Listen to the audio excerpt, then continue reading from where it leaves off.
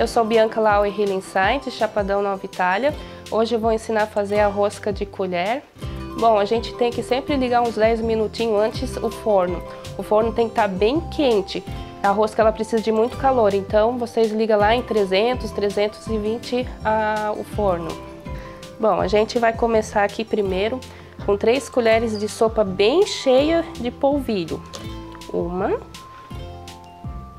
duas, três. A gente vai botar uma pitada de sal. Um tanto assim, ó. A gente coloca um ovo e meia xícara de azeite. Aqui a gente tem que misturar muito bem, tá? Bem misturadinho. Esse aqui é o primeiro ponto, né, dessa etapa. E a gente vai acrescentar agora uma xícara de água fervendo. Misturar bem. O polvilho ele tem que dar tipo uma engrossadinha, ó. Agora vai uma xícara de leite morno.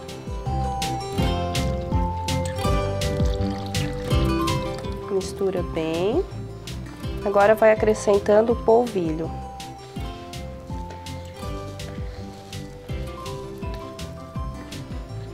Vai misturando.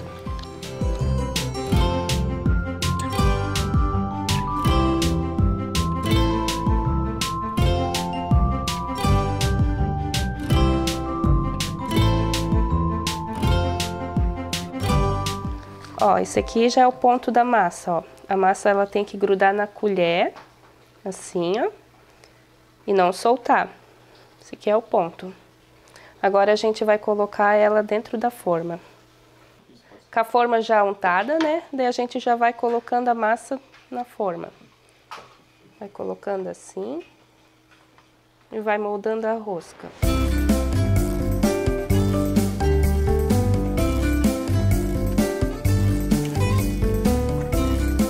Ó, daí que nem assim, tem que ser sempre feito assim na borda, né? Bem certinho. Se quiser também dá para pegar um plástico e fazer um furo e também colocar tipo numa bisnaga assim e moldando assim também dá. Mas eu faço assim de colher porque fica é mais rápido e mais prático também.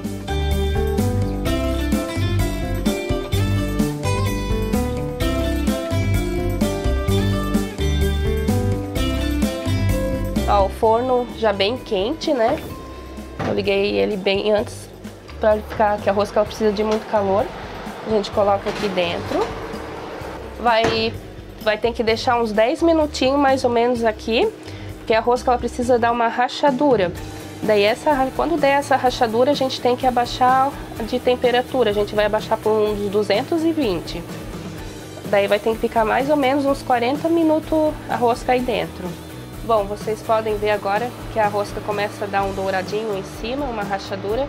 Agora é o ponto de se desligar, abaixar a temperatura dela. A gente vai pegar e abaixar para um 220 e esperar que ela agora cresça.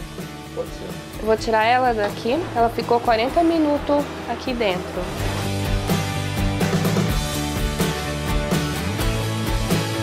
Finalizei agora a rosca, né?